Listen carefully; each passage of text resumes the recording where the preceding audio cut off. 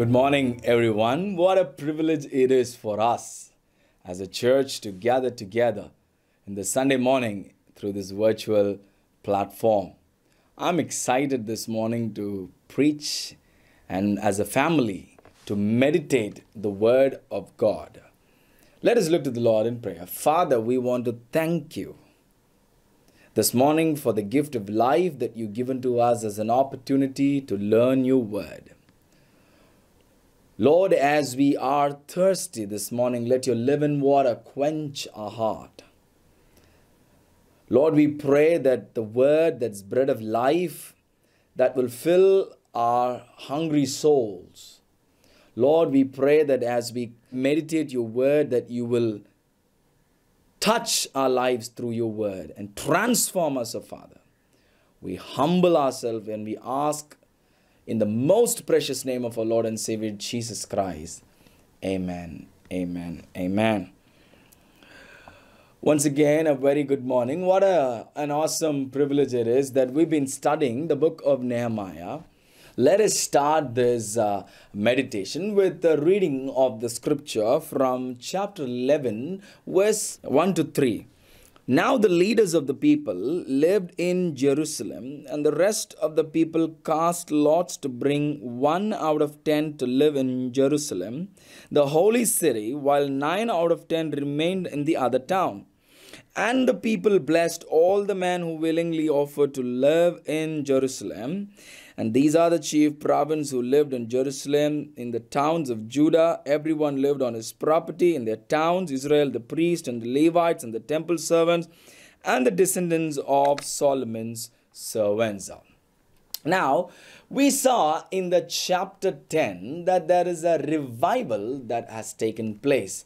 How the people of Israel has reprioritized everything in their life as a nation, as a family, as a community, as an individual, how they realize the difference between the vital things and the urgent things, how they set their goals on the Lord, and how they understood the importance of fellowship with the body and how it is important to be separated in the world and also how it is important to observe the day of the Lord.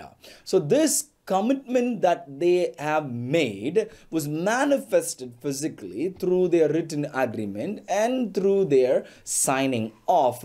So the book spoke a lot about the first six chapters on the construction of wall. But when you come to 8 to 10, it talks about a spiritual revival that's happening. And 11 to 13, it's primarily talking about the organization of the community. What is happening inside the wall now is the primary or the core lesson that we need to look at it from 11 to 13. This morning, I would like to talk to you under the title How Do We Serve God? How do we serve God? Now, let me give you a brief context first. Though now the city walls are being repaired, rebuilt, and restored, now Jerusalem is still remained as a place that is unpopular, desolate. It is not a place to live. So, why is it? If you look at Nehemiah chapter number 2, verse 3, when king was asking, Why is your face is so sad? For which the Nehemiah said, I said to the king, Let the king live forever. Why should not my face be sad? When the city, my place of my father's graves, lies in ruin, its gates have been destroyed by fire. So, this clearly shows that the city was completely desolated, completely burned and brought to its ruins. If you look at the same chapter, in the 17th verse, you will see that he says this uh, Then I said to him, You see the trouble are in, how Jerusalem lies in ruins with its gates burned. Come, let us build the wall of Jerusalem that we may no longer suffer derision we may no longer suffer derision. Meaning, like these two verses clearly shows us how unpopular this city has become. A city that is no use, has become a place of uh, uh, no inhabitation. Gates were burned down, the temple was completely destroyed, the city was not populated, the housing is still inadequate, safety was still a concern, income was questionable at all point. This is one part of what's happening in the city. And the, over to the topping all these things, the city was uh, to a point brought to shame and disgrace. The city of Jerusalem was known to other nations as God guiding the people. They are the book of the people. These are the people, those who seen the hand of God, but now here is the city that lies in ruins. So now the city is now described as a city that is of reproach, insult, scorn, and taunt, and defilement, and defied city. In this utter, total disgrace and shame, even though the wall was built, though the city is wanting to see a change, people were still hesitant, unwilling to go and to reside in this city. So, in modern terms, if you ask me, this is a city we should call as a place of wasteland or a ghost town. So, the whole text in uh, 1 till 10th chapter, it talks about how bad the city was and how things are getting to change. Now, in chapter 12, you see the community and the leadership wants to repopulate this broken, burnt, city. They want to bring people inside. So it wasn't done because there is better opportunities are found in the city. It was not because uh, life is going to be more comfortable in that city. Uh, neither it was not a land that has been occupied by the ancestors, so we need to go back. No. The primary reason for them to repopulate, rebuild, re-establish and regenerate everything is to worship that one true God. A people that walked away from God is now coming back to that God. So why, why would they want to do this?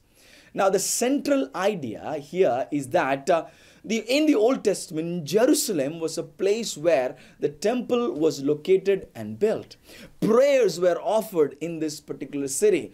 God would demonstrate his forgiveness and justice and grant them help and showed mercy and grace from this temple when people cried out unto him.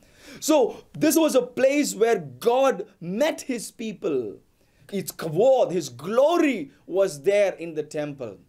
Now you see, this is extremely important. So repopulating and re-establishing, rebuilding is extremely important for both God and for his people. So there is a very close relationship between the land and worship. So when the people contaminated their worship by worshipping idols and removed God from the picture, God removed them out of their way.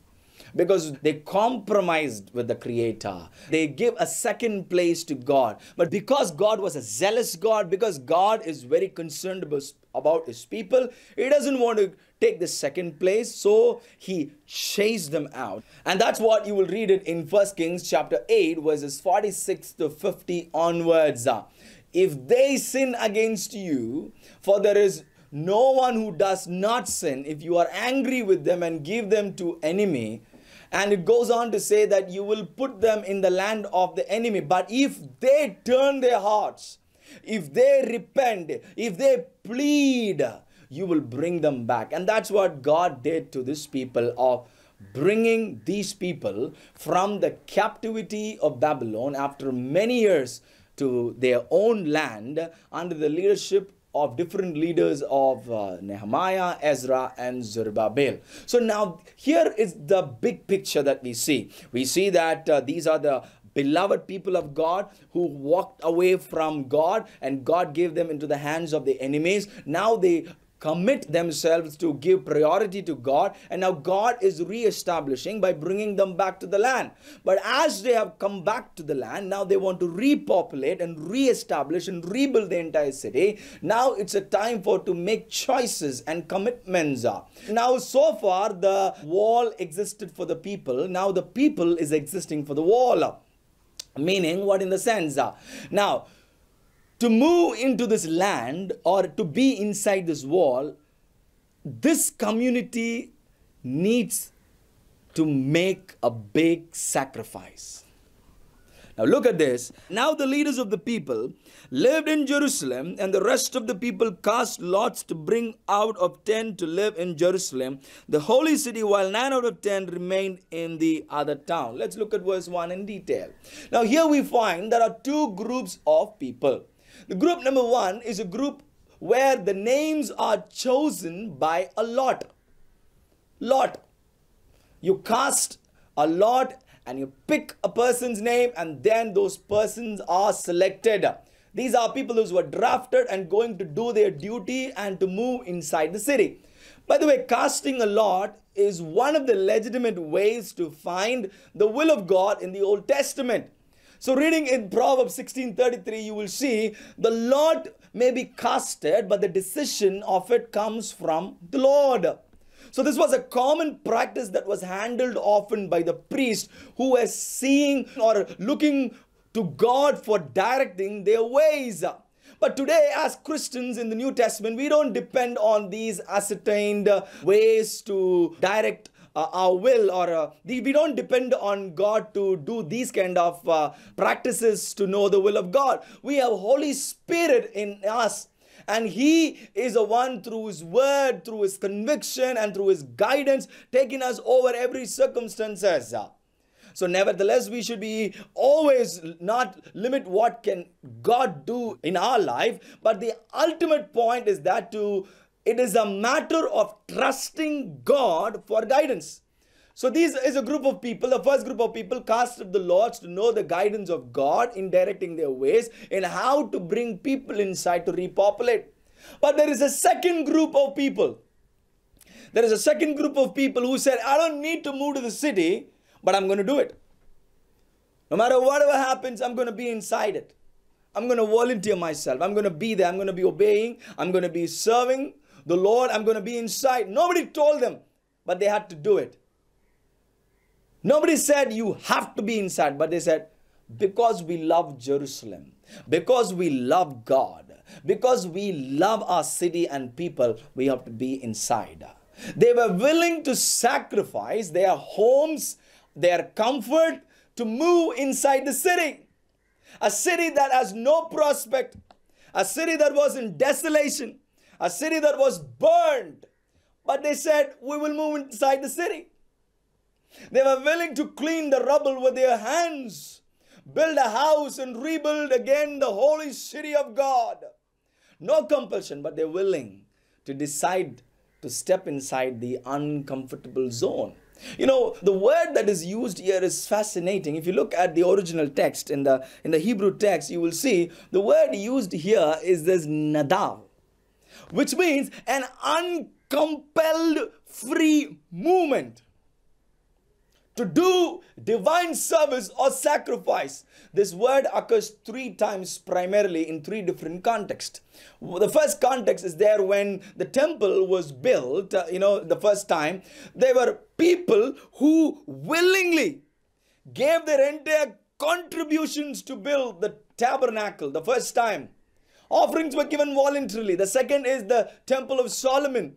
You see that in uh, Chronicles and uh, different parts of Kings. You see, you see that people decided to give voluntarily. There was a time they need to say, "Stop it! Don't give. Enough." And the third time was Deborah when she was asking people to come to fight for the war, holy war you see in Judges chapter 5, people are willingly came there. That's exactly the same word you see here in Nehemiah chapter 11. When there was a, there was a choice that given people committed themselves to serve God. How do we serve God? Willingly. Such a great example of these leaders leading the people in forefront. But serving the Lord requires two things. It's not easy to serve God. All the people whom you see nowadays say, accept the Lord Jesus, and uh, your life is filled with a bed of roses. No! Or to serve God is not you're gonna you know get to become filthy rich. No. Serving God requires two things. One, serving God needs courage. And serving God requires you to move even to uncomfortable positions of life. People were afraid. They were skeptical. They were uncomfortable to move to the city. But what did the leaders do first here? You see, the first group of people, they showed by willingly moving inside the city. The second group of people casted the Lord and came inside the city. They committed themselves, they involved themselves, they showed to the people who they are and how much they love God and their city. They didn't want to be leaders who were only asking others to make uncomfortable choices. They were the ones who took the initiative and showed them the way. Uh, back in the days when I was a seminary student, I used to attend a Bible study in the church nearby. During the time of that particular Tuesday, when we were going around 6:30 as an entire college student body, we used to see a lot of young and old people, a lot of them, a lot of them, young people, old people, were standing different parts of the church there will be a group that will be standing there to welcome the people. There used to be some who used to be ushering by tea or coffee. There used to be others who used to be uh, cleaning the benches and tables and arranging.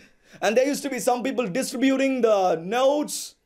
And I used to talk to them. And I used to talk to them and ask them, Sir, what do you do? And to my surprise, all of them are CEOs and high rank executives, police officers, business entrepreneurs, and the leaders of the city. They're not going to get any paycheck for doing those things in the church. It's not, it's not comfortable for them to stand from 6 o'clock till 9 o'clock in the evening being old. But still, they welcome with a smile. They happily serve it was very strenuous to clean the entire church, but they still do it. Why? Because they love the church and the body and the people. Because they love, because of their passion for God, they serve. Serving God requires you to move from comfortable to uncomfortable positions sometimes, and it needs courage. I know people who study in the seminary, if they ask, what do you want to do? And do you want to go to serve God to different states of India? They say no. They're scared. Or to move outside uh, their comfortable zone, they say no. The church is not an organization. Church is about a body, which we even looked at it in the last week. It's about the people, serving people. It's an assembly of believers who have been called and gifted and to be commissioned to be obedient servants of the Lord Jesus Christ. We should not forget that serving is an act of obedience. It is part of the spiritual growth and disciplining process within the body. That's what you see here. When people were selected, when people were willing, they just moved inside the city.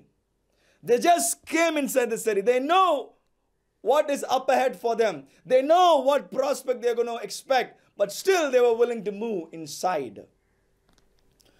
The problem with most of us is either we are skeptical about the decisions that we make for God, or we are not willing to be moving. We are complacent. We are happy within the body. We are happy. Now, when I say serving, I'm not talking only about the pastors or uh, those who are serving as a full-time minister. When I say serving, it includes, it's an inclusive term. There's a lot of things that is involved in serving or obedience. There's a lot of things involved in that. For many, there is a lack of concern about strengthening the body of Christ.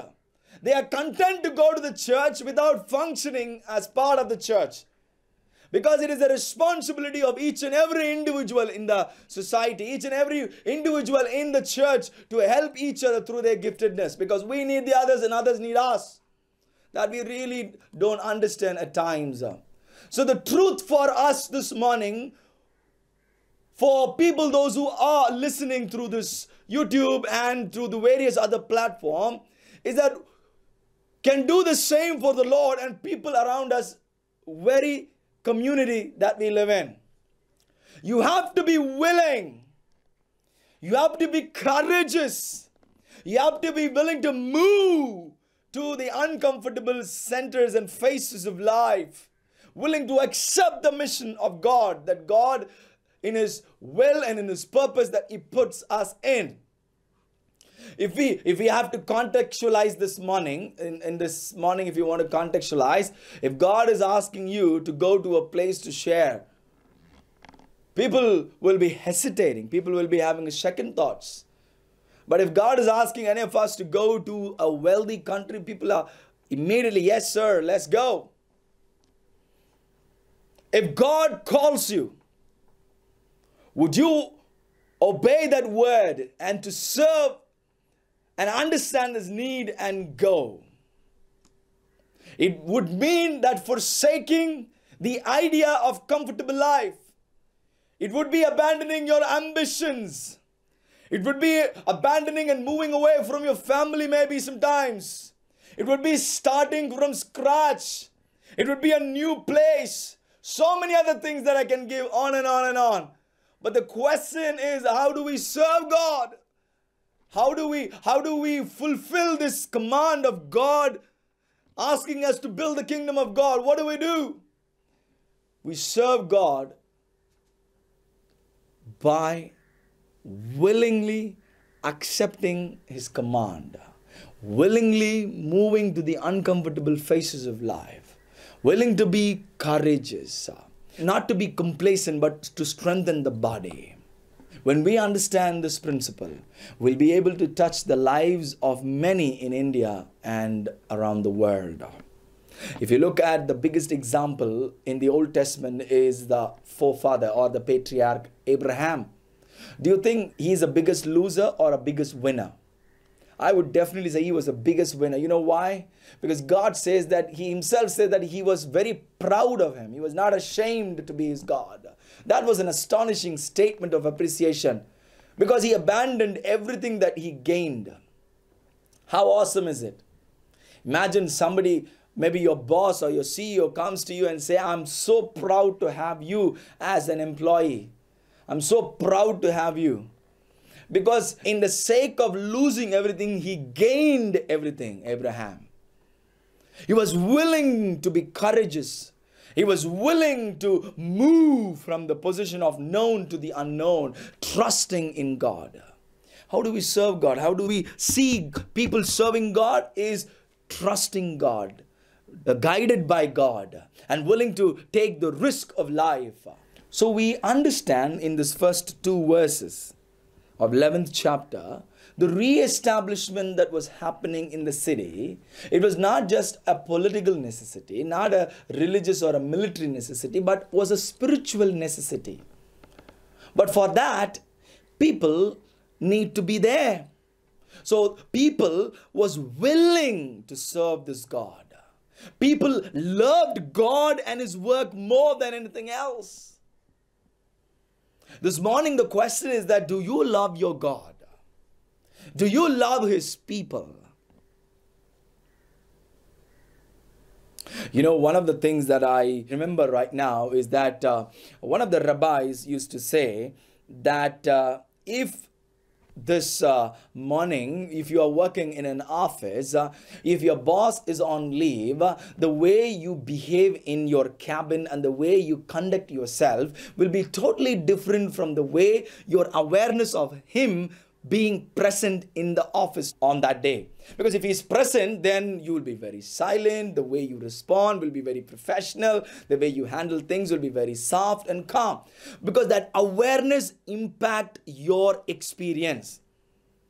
Right?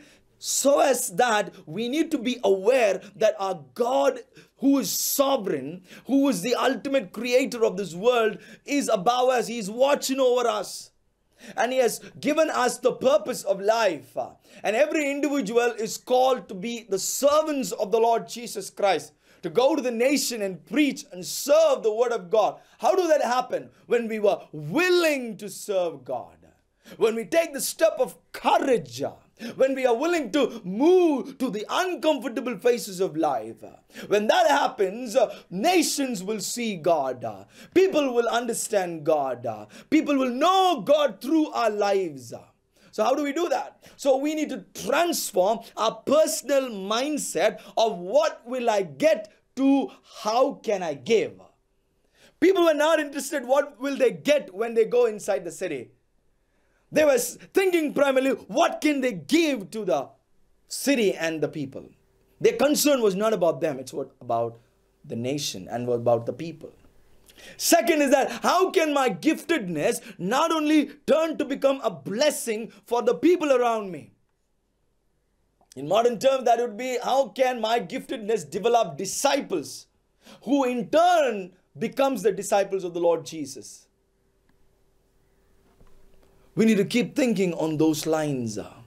Intentionally, we need to create a culture of believers who are thankful for their salvation, who are passionate about serving God ah, and use their giftedness and their abilities because they have a purpose in God. I want to close it by telling you a story about it's a very imaginative story, but I wanted to make a point here. It was a story of Jesus returning back to the heavens. When he arrived, the angels were glad and they were excited to see him. One of the angels exclaimed, and he said, Jesus, we're so glad that you've come back. Is your work on earth is completed or not? Jesus responded, No, there's no more work to be done. The angel asked Jesus politely, So who do you think will finish the work? Jesus, for which politely replied, My plan is to assign the work that needs to be done to those who believe in me, that's my servants, who are willing to serve. The angel thought for a minute and said, But what if the plan doesn't work? What if the people don't serve? What's your other plan? Then Jesus said, There is no other plan because my servants will be always willing to serve. My people will always think about me and the kingdom. The church doesn't need uh, people who are wanting to think about what they can get from the church, but we need a generation who is passionate about God who is passionate about his kingdom and willing to contribute, willing to give their giftedness and abilities and skills and talents so that the body is built. Revival comes only when we love God, love His work, and love His people. When we live under this awareness, great things will happen in the nation that we live. Let us pray. Father, we thank you for the wonderful time that you've given to us. Lord, as we meditated this morning, we see a group of people who know for sure that there are no prospects in the city. The city that lies in ruins, the city that is desolated, city that has no prospects. But yet they were willing to move and reside in the city, willing to understand that there is a greater cause, willing to work for the people Lord, help us this morning as a church to always prioritize and think it's not about us, it's about the kingdom. It's about the nation, it's about people. Lord, we are placed in the different scope of limitations, O Lord, but we pray that our commitment, our priority, when it becomes you, when you become the center, Lord, nations will come and know you, O Lord. We thank you for this powerful word. We humble ourselves in the Jesus' most precious name we pray. Amen, amen, amen. God bless you.